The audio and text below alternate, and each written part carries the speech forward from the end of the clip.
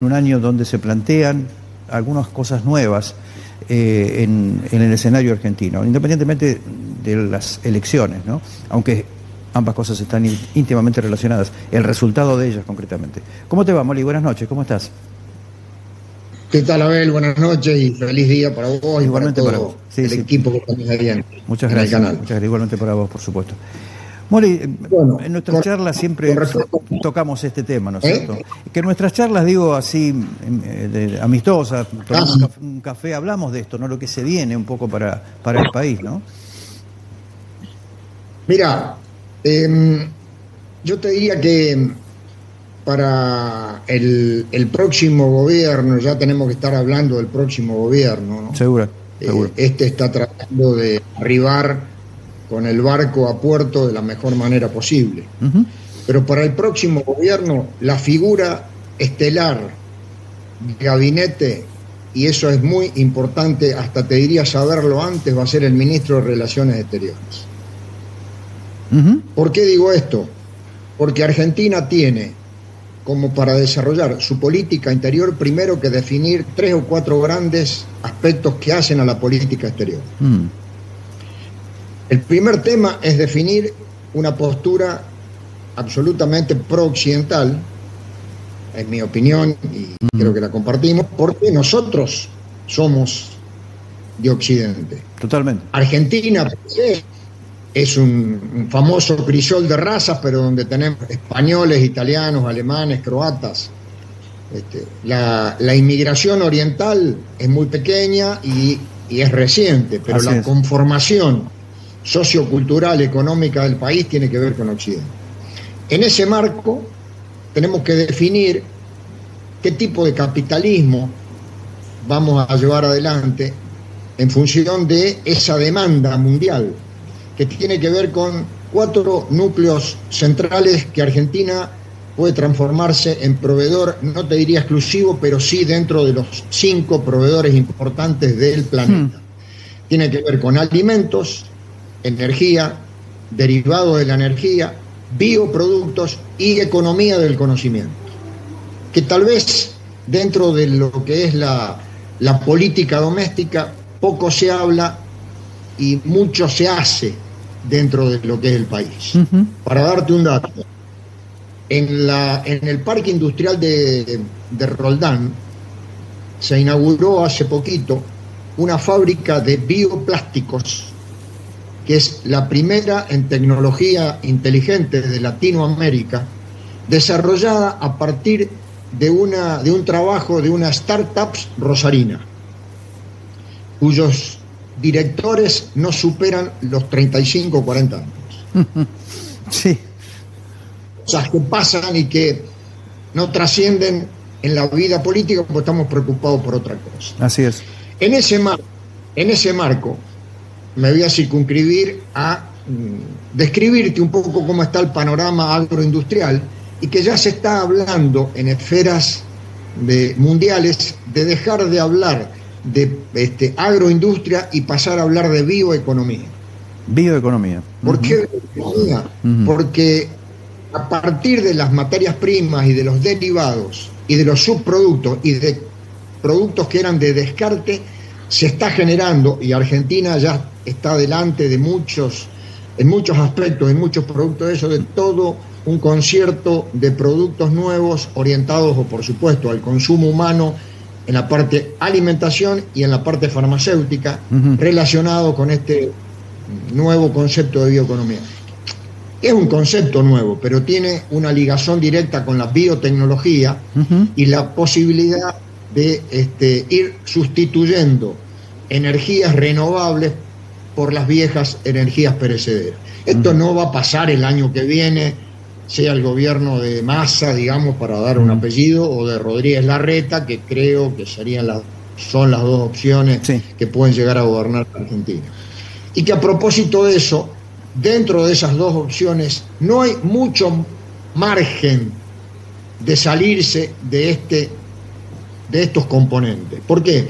Porque dependen fundamentalmente de lo que el mundo está definiendo y realineando después de la pandemia y en esta posguerra que es casi guerra y posguerra, pero que se está desarrollando mucho más allá de lo que se tenía previsto en los este, analistas y en, las mismas potencias que definen hoy el concierto mundial de las naciones. O sea que la guerra, la guerra aceleró un proceso que ya se estaba dando, la guerra simplemente lo, lo catalizó, lo hizo este, más vertiginoso, digamos.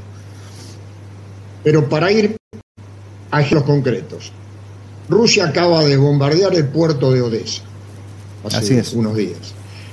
Del puerto de Odessa salen todos los embarques de aceite de girasol de Ucrania, que es el primer productor mundial de aceite de girasol. Uh -huh. Nosotros somos el tercero cuarto.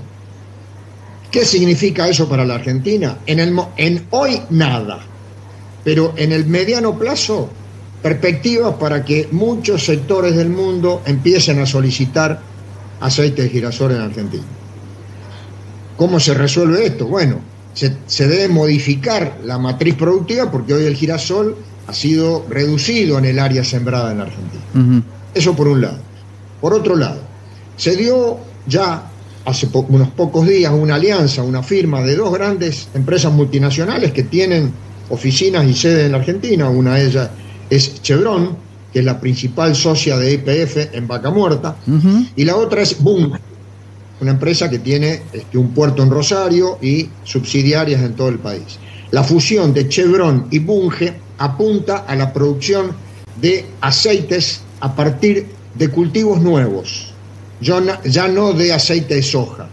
Y ahí aparecen cultivos como la camelina o la carinata, que son, digamos, parientas del nabo o del repollo, como para poner algo gráfico para que el Sí, público sí, sí. lo entienda. Correcto. Y que esto apunta fundamentalmente a la provisión de combustibles para todas las líneas aéreas del mundo. También hay una pata de Arabia Saudita dentro de esta sociedad. Vos me dirás, ¿qué tiene que ver Argentina con eso? Tiene mucho que ver y nuestra ciudad tiene mucho que ver.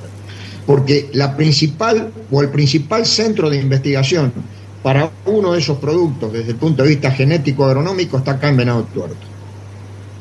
Esa empresa que tiene ligazón con Bunge y tiene ligazón con otras empresas este, australianas y canadienses que ya están procesando aceites de estos productos, piensa cultivar en la Argentina para el año 2030 un millón de hectáreas de estos nuevos cultivos. No es poca cosa un millón de hectáreas, No. pero sí hay una tendencia a ir modificando la estructura o la matriz productiva de lo que en otros momentos se había llamado proceso de sojización en la Argentina. Ya está en marcha un proceso de desojización de la Argentina, de una mayor variabilidad de productos que tienen más que ver con un poco la búsqueda del equilibrio, pensando también en el medio ambiente. Son ideas, realidades prometedoras. Yo te diría que a priori y a partir de recorrida este, en todo lo que es la zona sur de Santa Fe, sudeste de Córdoba y norte de. Buenos Aires, en los últimos 15, 20 días, noto en el sector agropecuario, agroindustrial, un optimismo prudente. ¿Qué quiere decir esto? Que todos los sectores están esperando el recambio de gobierno porque creen que indefectiblemente va a haber un cambio para mejor. Hace cuatro años, cuando el cambio iba a ser de Macri a Alberto, Rodríguez, eh, Alberto Fernández, justamente en esta época, Sí. previa a las pasos, las expectativas estaban, pero eran incertidumbre, eran dudas.